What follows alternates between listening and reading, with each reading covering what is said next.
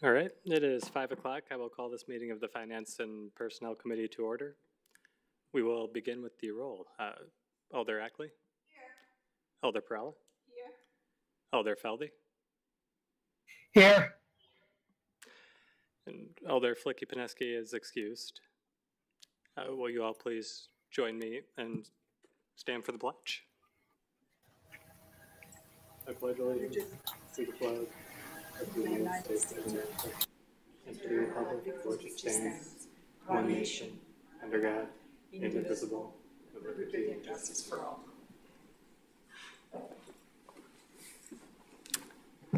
All right, barring any objections, we'll jump over four for introducing committee members and staff and move on to item number five, which is approval of the minutes from the July 24th, 2023 meeting. Do we have any discussion on the minutes from the last meeting? If not, we would be looking for a motion to approve. I move to approve. Second. All right, we have a motion and a second on the minutes from the July 24th meeting. Seeing no further discussion, all in favor? Aye. Aye. All opposed? Chair votes aye. The ayes have it, and the motion passes. With that, we will move on to item number six, which is RO number two of 2324, uh, submitting a claim from Torquay Coffee Company Incorporated for alleged damages to a vehicle when it was hit by a city garbage truck. So this is here uh, in front of you for filing, uh, but just to report, we, this was a claim that we did uh, pay. Questions or comments on this one? If not, we would be looking for a motion to file. So moved. Second. We have a motion and a second, then seeing no further discussion, all in favor? Aye. Aye. Aye. All opposed? Chair votes aye. The ayes have it, and the motion passes. That one is filed. Next up is item number seven, which is arrow number 129 of 2223, uh, submitting a claim from Yang Pao Chang for alleged damages to the driveway and sidewalk due to a broken water main. Similarly, this one is in front of your filing. This is one where we denied the claim. Questions, comments on this one, Alder Perrella? Yes, would you please explain why it was denied? Uh, There was no uh, liability on the part of the city for this, so there was no negligence or anything like that that would allow for payment. That's because um, there was no evidence that what they reported was um, reflective of the truth or what happened? Yeah, basically, I, I'm going to have to think back because this is a fairly old one, uh, but they were alleging that there was sort of a, a piece of metal that was that was sticking up out of the roadway. But it was uh, there were a couple of issues. One, there was there was insufficient evidence that that was handled improperly because it's in the street right of way, and so under the statute, um, damage in the street right of way is only payable if we're grossly negligent. And gross negligent means that we were aware that there was a problem and we chose to do nothing about it. The fact that something might, as a result of wear and tear, might suddenly start appearing out of there, that's not, that's not something we would pay a claim on until such time as we ignored it. So it's similar to a pothole uh, type of claim. Additionally, in this case, um, the, the claim actually didn't entirely represent what had actually occurred there. Um, it, it was actually not, it, it was in the right of way. It was not on the, the person's property. Okay.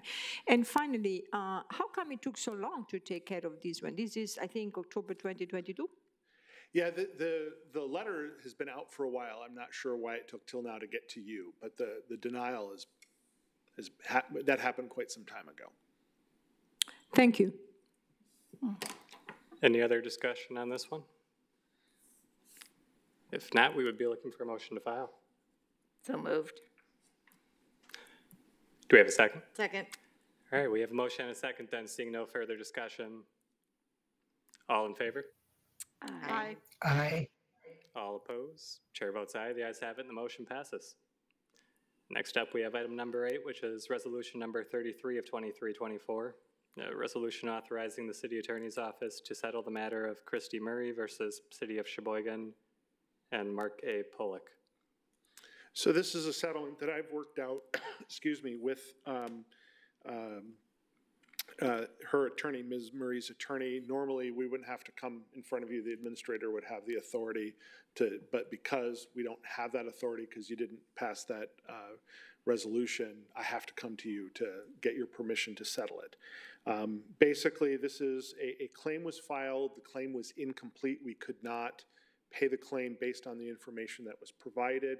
Uh, So we had to deny the claim to avoid the problems with timing, because if you don't deny a claim within X period of time, uh, it extends out the time for them to sue us to, to two years or three years, rather than the, the shorter period of time. So we had to deny it. Uh, Then when she hired a lawyer to sue us in small claims, I just simply asked the lawyer for the same information that we had asked for as part of the claim. They provided it, and nine hundred dollars is a good settlement on this one. So, so we're just re- requesting your authority to, to settle it in that amount. Questions, comments on this one? If not, we would be looking for a motion to approve. So moved. Second. All right, we have a motion and a second, then seeing no discussion. All in favor? Aye. Aye. Aye. All opposed? Chair votes aye. The ayes have it, and the motion passes. Thank you. Thank you.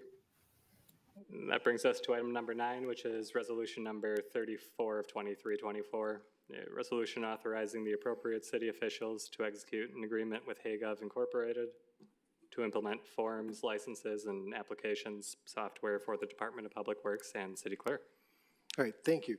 Uh, Just a brief update on this. This application will take care of the park rentals for DPW as well as the clerk's business licenses.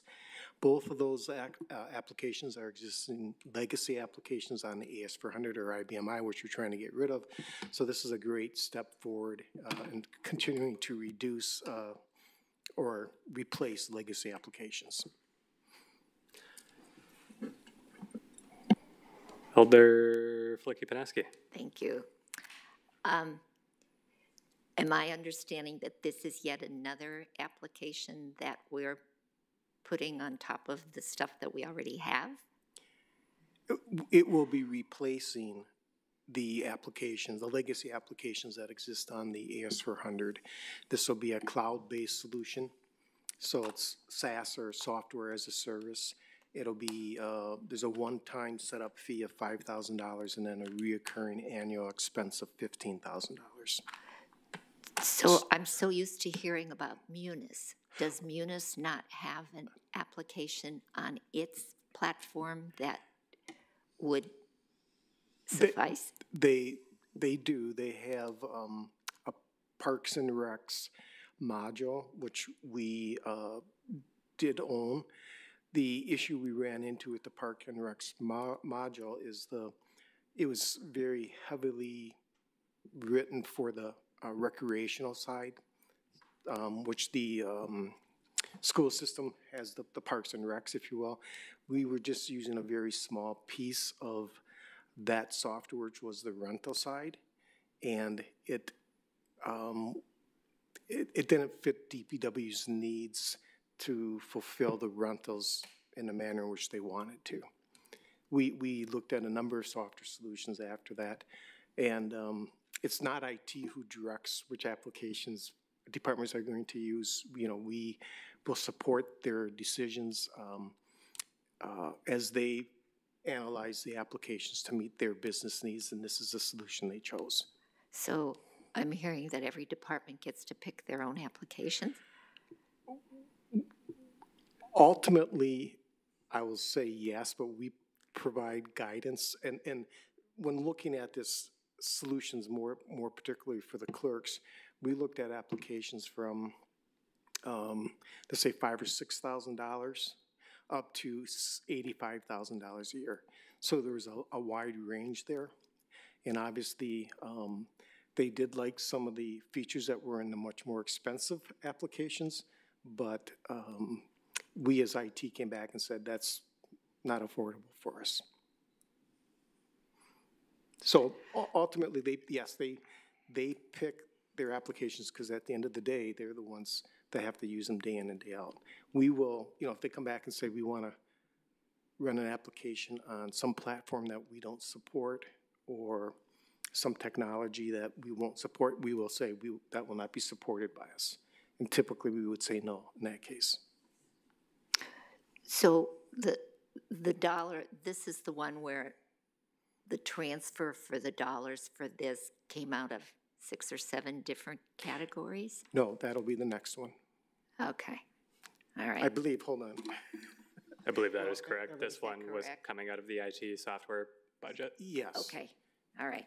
This is coming, yes, we have, um, each year in our capital plan, we set aside twenty-five or thirty-five thousand dollars, um, of money to, uh, replace legacy applications, so that's where this money is coming out of for this year. Will be out of that fund to replace the le- legacy applications. Okay, all right, thank you. You're welcome. Alder Perrella? Yeah, I was wondering, um, so it, because in the, in the documentation, it said, um, for applications, licenses, so it's, what is that is going to be used for exactly, uh, for, by DPW? The rentals of the parks, and what else? O- Other things, other uses too? We're, st- we're starting with the park rentals.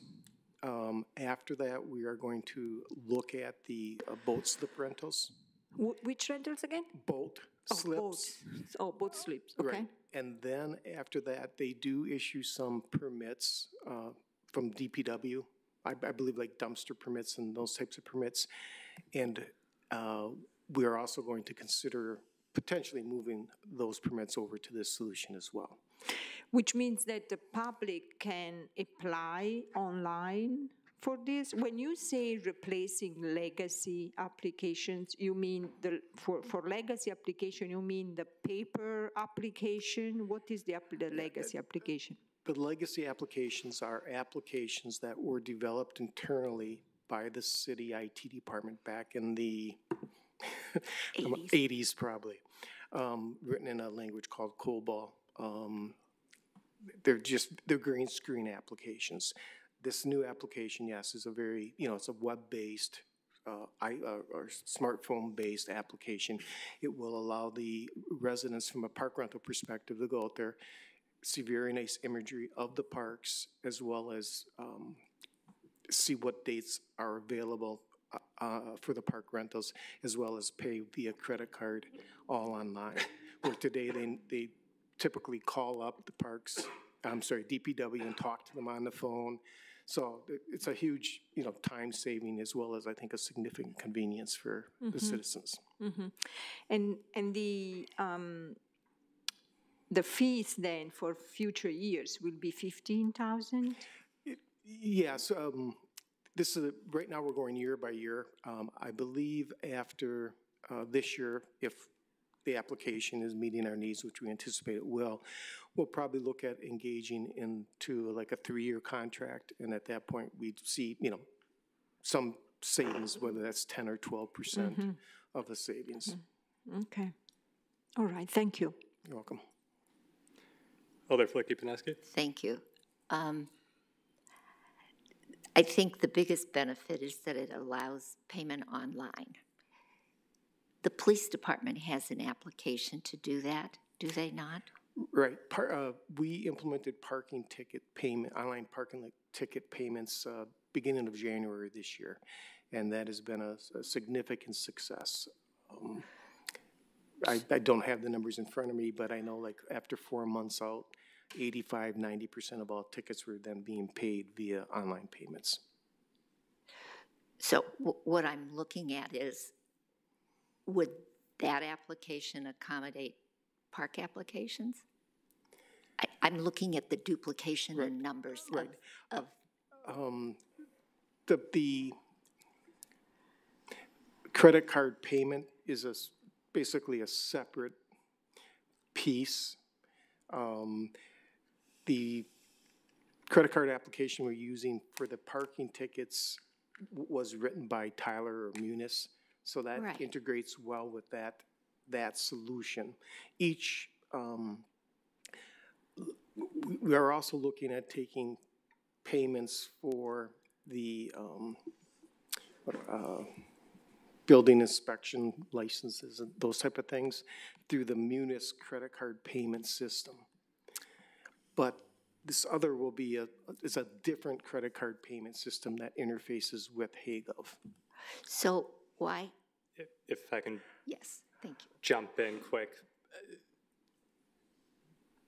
I guess I'll stay off of the IT side of the, the question for the most part, but would you qualify the greatest advantage of moving to this system being that residents who want to fill out these applications for their licenses, permits, and so on, they're able to do that online instead of coming in and having it on paper, and I'm assuming if it was COBOL, it's being entered by hand after those paper applications are filled out? Yes, I mean, everything is, yes, would be entered by hand. I- You know, when you say what is the biggest benefit, I, it's from a couple, couple, different perspectives. I think from the citizen's perspective, there's two. One is it gives them very improved visibility to what shelter is uh, available to rent. Um, Also gives them very good imagery or pictures of the uh, shelters. Um, And then the, the other big benefit is they can pay online with a credit card, where today they, they need to come into uh, the municipal service building and pay cash, or a check, I'm sorry, they don't take cash. Uh, Or I think they take credit cards, but yes, so from DP, DPW's internal processing perspective, you know, they're not gonna have to take all those phone calls that come in and try to help people uh, find shelters. Uh, This should make it much more of a self, a citizen self-service uh, portal for them. Additionally, we, we get the clerk side of this, which today, all the clerks, once again, is a very paper-based licensing process, and this is now going to move that from a paper-based processing system to a online uh, type system. Um, uh, Once again, supporting the payment of the license fees via credit card. Thank you. Other Filicky-Peneski? Thank you. Um, So this particular application will be used in the clerk's department too? Yes, it's, it's going to fulfill the, uh, the clerk's licensing needs as well as DPW's uh, needs for park rentals and potentially boat slips and some of their licensing requirements. Okay, the clerks use Munis for a whole bunch of other stuff. Um, the, the clerks don't use very much of Munis today. Their main application that they're using would be the legacy, um, permit, uh, uh, legacy AS400 business licensing application For permitting. for permitting. Right, that's a legacy application. Um, so the, the clerks really don't use Munis for very much at all. A lot of their, also from the election side, that's all state-provided uh, software from the, you know, the duties they do for elections. We get all our documents through Munis, so my observation is they use it a lot. Or Well, Municode when- I'm sorry, when you, know that when you get your, um, you mean like Municode? Yeah, they're That- different. That's not Munis, that is a Perfect. separate application again. It's, Perfect. Okay, Any other discussion on this one? If not, we would be looking for a motion to approve.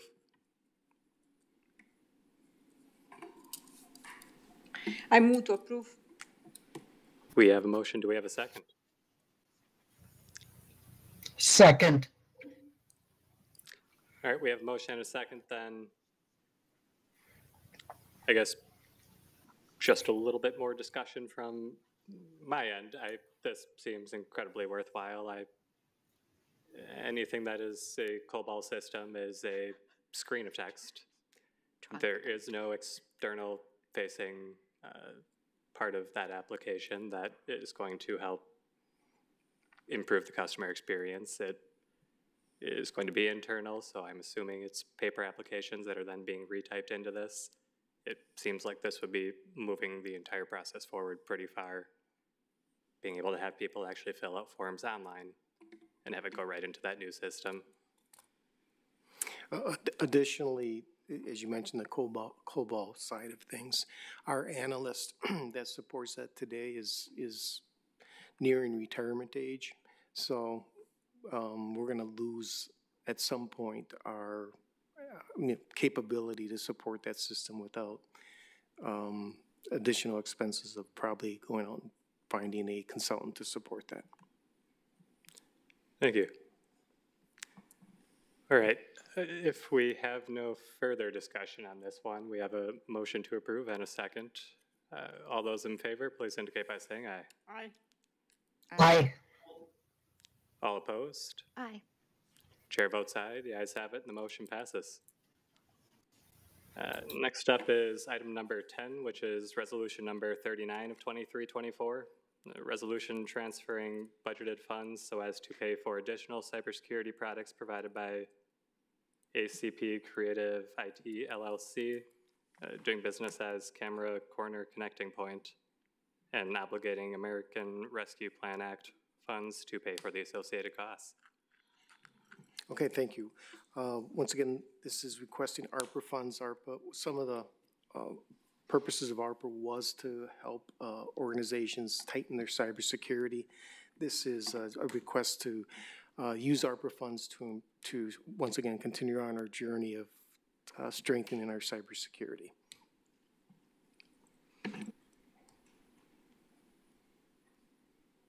Alder Perrella. Thank you, Chair. Uh, Where is the, so these are cameras, right? I'm, I'm sorry? These, the system you are referring to is cameras, installation of cameras? What is the safety measure that will, this resolution will enhance? It, it will, in, in this particular case, this is going to enhance our email security. So it will, um, uh, allow us to, uh, take, uh, I guess, a much more detailed look at emails, um, and continue to improve, um, I guess what we'll say is the false positives. So we're already struggling that we're, you know, we, we could hold every email and nothing could get through, or we can not hold everything and all the bad stuff gets through. This is trying to find that balance between not holding too many emails, but holding the appropriate emails. And this allows us to get into the granular detail of the emails uh, in, in-house.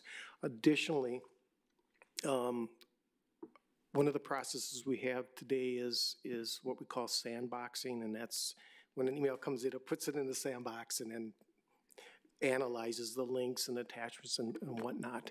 That actually currently goes outside to the cloud and then comes back, and that can take up to 30 minutes to process.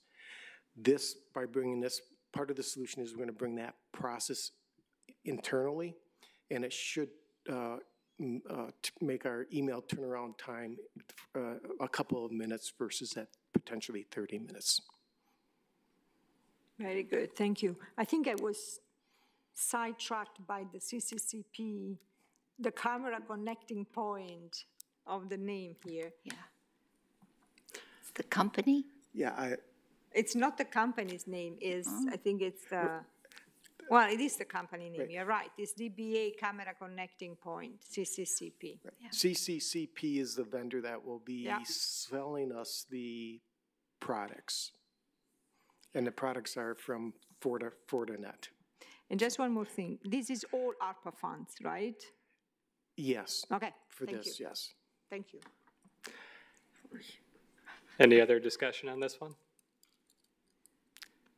If not, just my two quick cents that it seems like within IT, you're always fighting between user convenience and security. Getting this product in-house is going to be a pretty strong way to bring those two closer together when it comes to the email system Perfect. without sacrificing any of the security that we have. Agreed. If there is no further discussion, we would be looking for a motion to approve. So moved. Second? All right, we have a motion and a second then, seeing no further discussion. All in favor? Aye. Aye. Aye. All opposed? Chair votes aye. The ayes have it, and the motion passes. Thank you. Thank you. Next up, we have item number 11, which was a direct referral of resolution number 41 of 2324 uh, by Alderpersons Mitchell and Filicky-Peneski to appoint Casey Bradley as the new city administrator effective October 23rd, 2023, and authorizing appropriate city officials to enter into an employment agreement with Casey Bradley. Thank you, Chair. Uh, So in front of you, you have both a resolution and a contract. I just want to make a few comments before I entertain any questions. First, this appointment is a little bit different than what you typically see because this appointment is a council appointment as opposed to a mayoral appointment, which has to be held over to give the council the opportunity to review and vet those candidates that the mayor is putting forward because the council has already had the opportunity to review and vet the candidates. Uh, the council appointment doesn't go through the same process that a mayoral appointment does. Uh, for example, when uh, the last city administrator was hired, um, the interview and the hiring all happened in one meeting. So there was no two readings, there wasn't even two meetings, it just happened all in the same meeting. Um, the reason this is coming forward here today is twofold. Um, one, we feel like it is appropriate um, for it to have a first review before it goes to council, uh, for any questions to be answered. Additionally, I will not be at the council meeting next week, so I wanted to make sure that I was able to provide um, the details of the contract uh, to all of you. Secondly, the contract um, follows the terms that were discussed uh, in closed session after the interviews, um, when council indicated um, who they wanted uh, Lee from GovHR and myself to move forward with and the terms by which that contract should be um, written. Uh, that's the terms here in this contract. So um, I'm happy to go through any of the terms that you have questions on uh, or answer any of the questions that you may have regarding this contract. Questions? Alder Filicky-Peneski? Um, I recognize that the salary was at the upper end of the scale. And then in addition, there were moving expenses. This was all negotiated out as we had determined in closed session, I'm assuming. Yeah, so in the closed session, uh, council directed what the salary range could be that we could negotiate up to. And then the same thing with moving expenses. Council indicated the threshold um, for moving expenses. So both of those specifically were directly um, directed by council. I will say the two items in here um, that were loosely directed by council uh, would be the term of the agreement. So as you will see in this contract, there is no term. The contract, the contract is ongoing, so it's not like a three-year contract. Um, so that was one thing. And then the other thing was the severance um, package, uh, which in this contract, um, it is one uh, month salary for every year completed. So if in six months the council decides to part ways, um, there would be either no severance or one month severance that would get into later. You would have to, we'd have to have that conversation. But if it was five years in, there would be five months of severance. The most it could possibly be is six months, which is in line with what the past uh, two city administrator contracts for the city had. So again, those were loosely um, formed by uh, council, but not directly spoken about in closed session. Any other discussion on this one? Also, just so you know, uh, Mr. Bradley is planning on attending uh, the council meeting next Monday. Good. Um, So he will be here if you want to. We'll look forward to seeing him.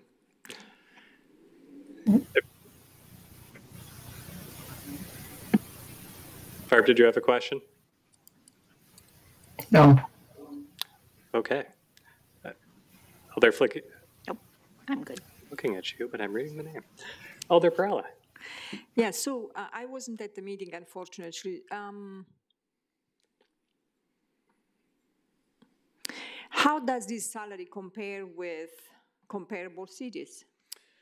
Um, so, so uh, we unfortunately have um, two cities that recently uh, settled contracts, or not settled, agreed to contracts that significantly higher than this. Uh, This is in line with what Mr. Bradley was requesting on his application um, and is in line um, with what we would have expected to have. I will tell you, we are lower than um, other municipalities that are of a similar size. It's, it's kind of difficult because there aren't too many municipalities that are that 50,000 range, but when we look at like Racine, Janesville, um, those types of communities, uh, we are lower than that.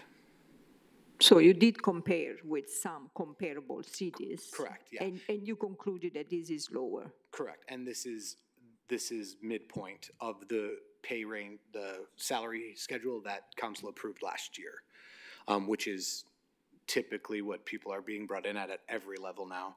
If you're coming in with significant experience, midpoint, which is the control point, um, is, is generally where people are being brought in for, for any position.